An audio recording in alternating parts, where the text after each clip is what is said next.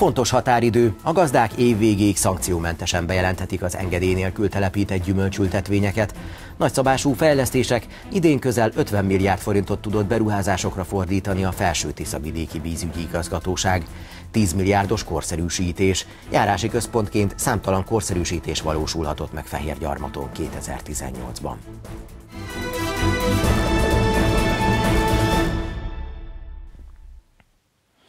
Az év végéig lehet szankciómentesen bejelenteni az engedély nélkül telepített gyümölcs ültetvényeket. A Kölcsei Televízió híradóját látják. Köszöntöm Önöket! A 2018. január 1 -e előtt engedéllyel telepített ültetvények használóinak adategyeztetés céljából szükséges az adatszolgáltatás. Ez a megye gyümölcs termesztésének állapotáról és megoszlásáról is képet adhat, valamint jelentős segítséget jelent a piackutatásban is. Az év elejétől megváltoztak a gyümölcsültetvények telepítésének engedélyezésére, valamint a meglévő ültetvények nyilvántartására vonatkozó előírások. Január 1-től a törvény előírja a gyümölcsültetvény katasztervezetését, amelynek felállításához a 2018. január 1 előtt telepített ültetvényeket is nyilvántartásba kell venni, így az azokat használóknak is adatot kell szolgáltatniuk. A nyilvántartási kötelezettség a 2500 négyzetmétert meghaladó gyümölcsültetvényekre vonatkozik, ugyanakkor a jogszabály lehetőséget ad arra, hogy a 2018. január 1 előtt engedély nélkül eltelepített 2500 négyzetméternél nagyobb gyümölcsültetvényeket 2018. december 31-ig szankció nélkül lehessen bejelenteni nyilvántartásba vételhez a területileg illetékes telepítési hatósághoz. A megyében már kevés engedély nélküli ültetvény található, köszönhetően annak, hogy az Agrárgazdasági Kamara korábban már tartott egy összeírást. Mi a szabolcs bereg megyében 2014-ben már az Agrárgazdasági Kamara egy ilyen felmérést elvégzett, igaz nem kötelező jelleggel, de azokat a gyümölcstermesztő gazdákat megkérdezték a falugazdászok, akinek tudják, hogy van gyümölcsöse mindegyik településen. Én úgy gondolom, hogy egy van valós megközelítési adattal mi rendelkeztünk eddig is, a gyümölcsültetvények bejelentése nem csak a kötelezettség teljesítése miatt fontos, hanem pontos képet ad a megye gyümölcs termesztéséről, és segíthet a piackutatásban is. Azért kezdeményeztem ezt 2014-ben, hogy, hogy beszélünk itt, hogy a szabolcs bereg megye milyen eh, jól áll a megytermésnek, termesztésnek körülbelül 75%-a itt van, de nem tudtuk megmondani, hogy körülbelül ez hány hektárt jelent. Hát most e- ezt eh, még almán belül is, vagy gyümölcsökön belül is fajtára lebontva lesz egy olyan adat a kormányhivatalnak, ahol fogjuk tudni, hogy miből mennyi van, és eh, ha csak a piackutatásra gondolunk, akkor legalább el tudjuk már mondani, hogy ilyen felületen termelünk megyet, almát, almán belül fajtánként. Az adatlapokat a természetes személyek papíralapon, postai úton, a megye székhely szerinti járáshivatalokhoz, vagy e-papíron elektronikus úton nyújthatják be, míg a gazdálkodó szervezetek cégkapun, az egyéni vállalkozók pedig ügyfélkapun keresztül elektronikus úton kötelezettek a bejelentés benyújtására. A bejelentési kötelezettség elmulasztása 20 és 50 ezer forint közötti bírság kiszabását vonhatja maga után. Közel 50 milliárd forintnyi beruházás zajlott le idén a Felső Tiszavidéki Vízügyi Igazgatóság működési területén. Az árvízvédelem mellett a víz visszatartási, valamint vízgazdálkodási rendszerek fejlesztése is kiemelten fontos feladat volt az idei évben az igazgatóság számára. Jövőre a Tisza Túr víztározó építése mellett többek között a belvízrendszerek megújítása és mintegy 170 kilométernyi csatorna és 150 műtárgy felújítása lesz a szervezet legfőbb feladata. Ezek a drónos felvételek még nyáron készültek. Éppen a Tisza-Tivadar fölötti szakaszán alakítottak ki árvízvédelmi töltéseket. Ezeken a képeken pedig egy komplex beruházás műtárgyai látszanak, melyek a vízügyi igazgatóság ár- és belvízvédelmi, valamint vízmegtartási és vízgazdálkodási rendszerének szerves részét képezik. Ezek a beruházások is a Feti vízig idei feladatai közé tartoztak, azonban jól teljesített az igazgatóság a vízgazdálkodási rendszerek karbantartásánál és működtetésénél is, miközben az asszályos és vízhiányos időszak mellett tavasszal ár- és belvízi védekezésén is dolgoztak a vízügyi szakemberek. Ezek a feladatok minden tekintetben kiválóan sikerültek, és sok tapasztalatot szereztünk, hogy milyen módon kell majd ezeket a feladatokat a jövőben ellátni komoly fejlesztések zajlottak, ár és a belvízvédelem területén is, és ma már ezek a fejlesztések olyanok, hogy nem csak a sok víz elleni védelmet szolgálják, hanem a vízhiányos időszak problémakörét is. Például a Berekben befejeződött a tájgazdálkodási projektünk. Itt két helyen lesz lehetőség a Tiszából szivattyúval vizet pótolni a rendszerbe, és majd elosztani a igényeknek megfelelően. Komoly árvízi fejlesztés folyik a Tisza mentén az ukrán térségben az országhatárnál, illetve a Tivadari híd környékén. Ez több mint 30 kilométer töltésnek a megerősítését és sok műtárgynak a teljes átépítését is jelenti. Mintegy 1,2 milliárd forintos Európai Uniós forrásból épültek vízkormányzó rendszerek a berekben, melyek szerves egységet alkotnak a már meglévő védművekkel, így például ezzel a Tarpa határában lévő nagyberresztő zsiliprendszerrel is.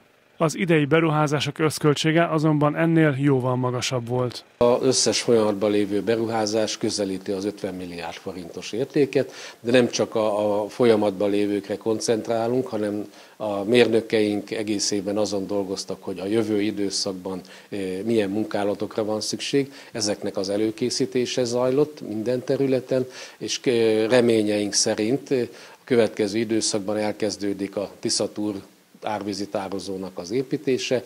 Itt nem csak a, az árvizek kezelésére lesz lehetőség, hanem építünk egy szivattyútelepet, egy naperőművel, ami lehetőséget biztosít vízhiányos időszakban Tisza víznek a betáplálására a rendszerbe, és természetesen szeretnénk folytatni a vízrendszernek a megújítását, a belvízrendszernek a megújítását olyan módon, hogy lehetőség szerint a víz visszatartása, a víz szétosztása lehető legjobban meg tudjon történni. Például három tározónak a teljes körű rekonstrukciójára fog sor kerülni következő években. A harangodi, a rohodi és a penyigei tározókról van szó.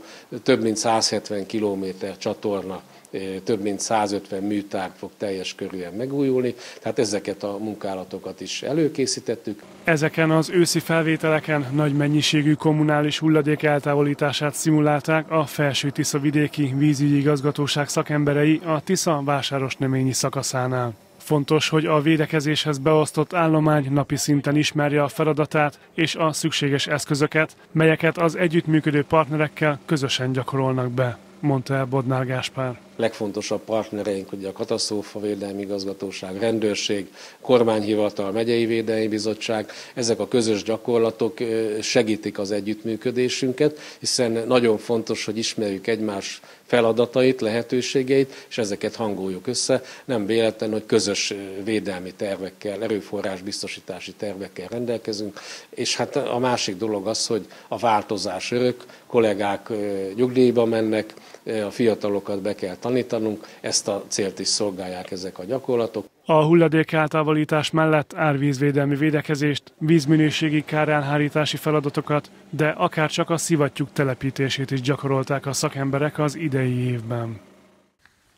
Iskolafejlesztés, útépítés, új járási központ, közel 10 milliárdos fejlesztési csomag valósul meg a következő években Fehérgyarmaton. A cél nem csupán a település fejlesztése, hanem járási központként a térség fejlődésének az előmozdítása és a lakosság helyben tartása a gazdaság erősítésével, új munkahelyek teremtésével és a különböző ellátásokhoz való hozzáférés biztosításával. Jó ütemben halad az új járáshivatal építése Fehérgyarmaton. A tervek szerint januárban el is készülnek a beruházással. De az új református iskola épületénél is zajlik a munka. Hamarosan itt is megkezdhetik tanulmányaikat a diákok. A település idén több nagyobb beruházással is büszkélkedhet. Ezek egy része már befejeződött, egy része pedig az elkövetkező években zárul. A legnagyobb beruházás a református egyház által végzett általános iskola beruházás, új általános iskola építése, hiszen az közel 4 milliárd forintos beruházás, de természetesen a városnak az ipari létesítmény építésére elnyert topos pályázata is közel 1 milliárdos de el lehet mondani, hogy több félmilliárdos beruházásunk van, mint a Zöldváros, amely a, ebben a hónapban jött meg értesítésként, jobban mondva novemberben, hogy elnyerte a város, illetve a kerékpárút építése, amely szintén egy félmilliárdos beruházás. Azt lehet elmondani, hogy tulajdonképpen a város a kormányjal, egyházzal, tehát civil szervezetek, egyházi szervezetekkel együtt közel egy 10 milliárdos fejlesztési csomagon fog túl lenni az elkövetkezendő egy-két évben. Gyarmat szerepe meghatározó a térségben, hiszen a város járási központ is. Így a településen zajló beruházások a környék lakossága és a régió egészének a fejlődése szempontjából is kiemelt fontosságúak. Ezek a beruházások, illetve több olyan beruházás van, amely mint járásszékhely érintik a várást, tehát kisugárzó hatása van. Ugye az ipari létesítmény építése is, hiszen nem csak Fehérgyarmatnak fog munkahelyet teremteni, hanem a környékbe élőknek is, illetve az útinfrastruktúra fejlesztés, amelyet ugye a magyar állam, illetve a város is végrehajtott, az szintén térségi kisugárzása van, hiszen azért elmondható, hogy a városba vidékről, tehát a környező településekről sok ember megfordul, és természetesen az ő életminőségüket is javítja ez a beruházás. De ugyanígy a járási hivatal is, vagy a katasztrófavédelmi központ, ezek térségi beruházások, úgy gondolom, hogy egy járásszékhelynek ezeket a beruházásokat támogatnia kell, és mindent meg kell tenni annak érdekében, hogy ezek a beruházások megvalósuljanak. Nem csak a közigazgatási, oktatási és gazdasági feladatok ellátása miatt jelentős a szerepe a járási központnak, hanem az egészségügyi szolgáltatásokhoz való hozzáférés miatt is. Éppen ezért folyamatos fejlesztések zajlanak a Fehérgyarmati Kórházban is. Jelenleg az 1963-ban épült nővérszállót újítják fel. Az energetikai beruházás a rezsicsökkenés mellett az orvosok és szakdolgozók letelepedését is segítheti a városban. Az előző évekhez képest jóval több, összesen 25 közúti közlekedési baleset történt Szabolcs megye útjain az ünnepek alatt. Ezek közül egyet sem ittas vezető okozott. Figyelmetlenségből alakultak ki a balesetek, amelyek közül több tömeges is volt a napokban. Szerdán az M3-as autópályán a Nyírbátori lehajtó közelében egy külföldi sofőr vesztette el uralmát a jármű fölött, és autójával a szalagkorlátnak ütközött. A felnőtt utasok nem sérültek komolyan, egy gyermeket megfigyelésre a Nyíregyházi kórházba szállítottak. Utak újultak meg Szabolcs megye kettes számú választókerületében idén, többek között Tiszalök és Tiszadada között külterületi, Nagycserkeszen pedig belterületi utakat javítottak, de javultak a munkanélküliségi mutatók is a térségben, és energetikai beruházások is befejeződtek. Vinnai Győző országgyűlési képviselő kiemelte, a térség magához képest sokat fejlődött, így eredményes évet zár 2018-ban. Oktatási intézmények és önkormányzati épületek energetikai felújítása, csapadékvíz elvezetési munkálatok, óvoda és bölcsöde építési és fejlesztési program. Ezek mind megvalósultak Szabolcs-Szatmár Bereg megye kettes számú választókerületében. Vinnai Győző, a térség országgyűlési képviselője kiemelte, fontos az ipari parkok kialakítása, például Tiszalökön és Ibrányban ezek már folyamatban vannak. A Zöldváros programban a belvárosok felújítására pedig Tiszalök, Nyírtelek és Ibrány települések is nyertek pályázati forrást. Nagyon fontos, hogy óvodák épülnek, több is épül, vagy egy konkrétan épül Gávavencseren egy új óvoda, de többnek a felújítása megtörtént. Például Nyírtelken egy nagy program közel 300 millió forinttal sikerült, 300 millió forintos uniós támogatást sikerült szerezni a kastélykert óvoda felújítására, ez nagyon szépen sikerült, nemrég volt az átadó ünnepség. Emellett nagy probléma a választókerületben az utak, alsóbrendű utak felújítása, úgyhogy örömmel számolhatok be arról, hogy Tiszalök és Tiszadada között egy 12,5 kilométeres útszakasz, alsóbrendű útszakasz megújult. Emellett Nagycserkesz Tamás Bokor irányában is történtek, sőt Nagycserkesz hazai forrásból 50 milliót fordíthatott belterületi önkormányzati utak aszfaltozására. Ők azt választották, hogy a belterületen található földutakat négy utcarészt aszfaltoztak, egy újabb nagyszabású belterületi útrendezés történik 2019-ben Paszabon, erre már a forrást is elkülönítették. Több településen is nyertek 15 millió forintos belügyminisztériumi pályázaton az utak felújítására, valamint egy uniós lehetőségnek köszönhetően tudtak külterületi utakat is korszerűsíteni. Ezek azért is fontosak, mert a kettes számú választókerülethez tartozik számtalan bokortanya, ahol időszerű az utak javítása. A külterületi utakra hét település mintegy 500 millió forint pályázati összeget nyert, ez a beruházás jövőre indul. A munkaerőpiaci helyzet sokat változott az elmúlt években. Ezt nem lehet mondjuk egy fél év alatt, hogy mondjam, megváltoztatni a viszonyokat, érdemben megváltoztatni, de hogyha visszatekintek mondjuk egy két-három éves ciklusra, akkor azt tudom mondani, hogy erőteljes a közfoglalkoztatás a kettes választókerületben. Ez egyre inkább kevesebben dolgoznak már a közfoglalkoztatásban, mert sokan találnak munkát. És én mindig azt mondom, hogy a képzettség számít, képezni kell az embereket, van több közfoglalkoztatotti képzés, amelyet a kormányhivatal foglalkoztatási főosztálya szervez, és ha a munkanélküliséget megnézem ebben a térségben, mert ugye ez, ez három részből áll az én választókerületem, van a Tiszavasvári járás, az Ibrányi járás, és van a Nyíregyházi járáshoz tartozó települések, vagy konkrétan Nyíregyházához tartozó városrészek. Ha azt mondom, hogy Nyíregyháza környékén 4% alatt van a munkanélküliség, tehát az országos átlagot eléri, akkor ez egy jó helyzetnek mondható. Tiszavasvári Tiszalök környékén jelenleg 7-8 százalék között alakul a munkanélküliségi mutató. Nyírtelek vonzás körzetében a nyíregyházi 4 százalék körüli jellemző, míg Ibrány és környékén pedig 6-7 százaléknál áll jelenleg ez a ráta. Binnai Győző hozzátette, hiába rendelkezik jobb mutatókkal Közép- és Nyugat-Magyarország, a térség magához képest tudott fejlődni és eredményes évet zárt 2018-ban.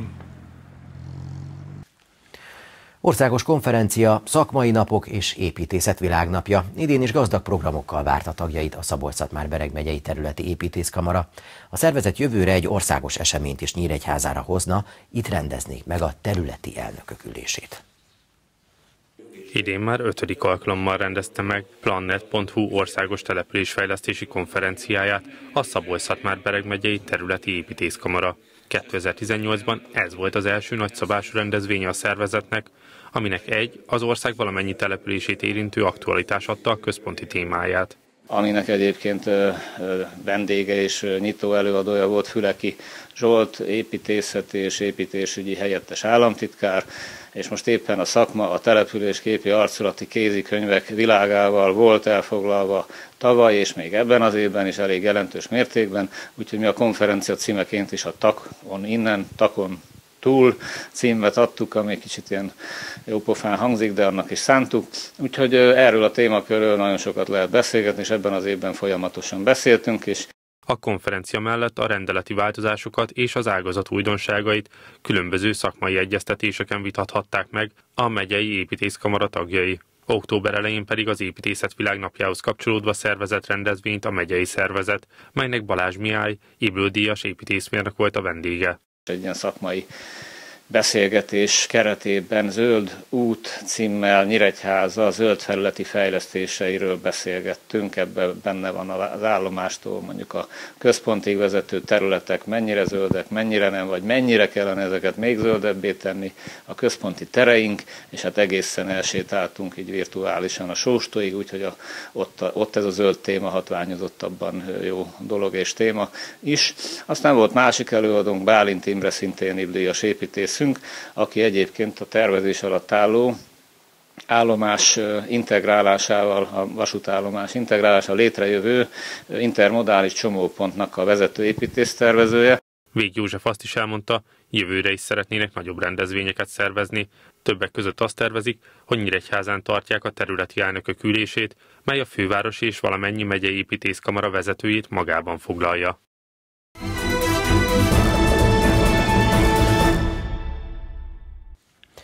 A tabella második helyén tölti a téli szünetet az Ibrányi futballcsapat. A megyei első osztály újonca az utolsó őszi fordulóban elszenvedett vereségnek köszönhetően csúszott le az első helyről. Madalina György együttese január 9-én kezdi a felkészülést, amelynek részeként címvédőként indul a Nyírertő Kupa kispályás tornán. A Madalina György kezei alatt romjaiból újjáépülő Ibrányi csapat 16 pontos előnyel végzett az élen a megyei másodosztályban, így sokan bajnok esélyesnek kiáltották ki a megye egy őszi indulásakor. A Gyulaházi döntetlent követően zsinórban négyszer győzött az Ibrány, majd két X után újabb három siker következett. Félegyháziék egészen az őszi zárófordulóig a tabella élén álltak, a szomszédvár nagyhalásztól elszenvedett vereséggel azonban lecsúsztak a második helyre. Amikor vége van egy szezonnak, és akár bajnok lesz a csapat, akár nem, akkor azért elő, az élet az egy nagy rendező. Hát itt is átrendezte, mert voltak emberek, akik megváltozott családi körülmény miatt, voltak, akik szakmai okok miatt más klubot választottak. Ezt próbáltuk gyorsan orvosolni, úgy gondolom, hogy sikerült is. És hát az akkoriba rendezett Magyar Kupa meccseken, fölkészülési mérkőzéseken azért bizonyítottuk, hogy a lendületünk nem tört meg, talán még egy kicsit jobb is lett a csapat, jobban is játszottunk, és hát a, a, az elején természetesen, hogy óriási sikereket értünk el, hisz olyan csapatokat vertünk meg, akik most ott vannak az élbolyba, és hát nem rossz játékkal, és nagy gólarányú győzelmeket értünk el. Ez reményt adott arra, hogy hát a folytatás is ilyen lesz, aztán nem így lett. Az őszi szezon hajrájában elveszített pontok az edző szerint a szinte példátlan sérülés hullám számlájára írhatók. Szerintem minőségben nem voltunk rosszak, viszont mennyiségben kiütközött a nyolcadik fordulónál, hogy, hogy hát ezzel, ezzel vannak gondok. És aztán hát beszéltem már többször róla, hogy példátlan sérülés hullám söpört végig a csapaton, ami, ami még az elején nem tört meg bennünket, mert még nagyon értékes győzelmeket arattunk, elég ha csak a, a Kisvárdát, a Nyírgyulajt, a Vásárosna, mint Baktát említem, de aztán elért a végzet bennünket, amikor már tényleg a 11-ből is kiesett egy emberünk, és azt már tudtuk pótolni, belefáradtunk, ott volt a győzelmi kényszer, aztán nem úgy jöttek össze a dolgok, de ha ennek tükrében nézem, amiket elmondtam eddig, akkor azt kell mondjam, hogy még így is elégedettek lehetünk. Az Ibrány hátránya mindössze két pont a nagyhalásszal szemben. Annak ellenére, hogy szinte egész ősszel Madalina György együttes állt a tabella élén, nincs feljutási kényszer a csapaton. Először a feltételt kell megteremteni, hogy valaki följusson egy osztálya följebb. Mondjuk az NBA-ron óriási követelmények vannak, hogy annak megfeleljünk, az, ahogy elmondtam, még, még nagyon sok mindennek létre kell jönni, de ha, ha úgy lesz, hogy meg tudjuk nyerni a bajnokságot, ami nagyon-nagyon nehéz lesz, mert sosem lehet tudni, hogy nem-e történik megünk, velünk ilyen ö, szerencsétlenség, ami, ami ugye történt, akkor, akkor majd beszélhetünk róla, hogy, hogy mit fogunk csinálni. Az ibrányi futbalisták január 9-én találkoznak először a téli pihenőt követően. A csapat január 13-án címvédőként indul a Nyírerő Kupa kispályás tornán, majd a műfüves téli bajnokságon is pályára lép Madalina György együttese. Most pedig híradók végén nézzük legfontosabb híreinket még egyszer röviden.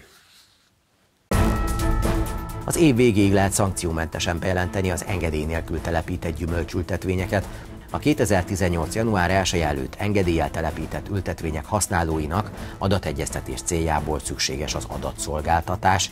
Ez a megye gyümölcs termesztésének állapotáról és megoszlásáról is képet adhat, valamint segítséget jelent a piackutatásban is. Közel 50 milliárd forintnyi beruházás zajlott le idén a Felső Tiszavidéki Vízügyi Igazgatóság működési területén. Az árvízvédelem mellett a víz visszatartási, valamint vízgazdálkodási rendszerek fejlesztése is kiemelten fontos feladat volt az idei évben az igazgatóság számára. Jövőre a Tisza Túr víztározó építése mellett többek között a belvízrendszerek megújítása és mintegy 170 kilométernyi csatorna és 150 műtárgy felújítása lesz a szervezet legfőbb feladata.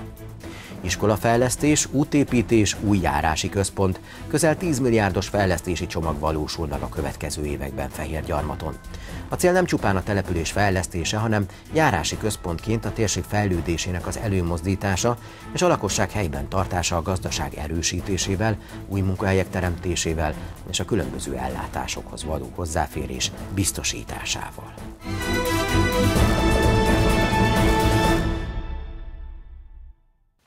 Önök a Kölcsei Televízió híradóját látták december 27-én csütörtökön. Friss hírekkel legközelebb holnap este várjuk majd Önöket. Tudósításainkat addig is elérik internetes oldalunkon. Én munkatársaim nevében is köszönöm figyelmüket, viszontlátásra!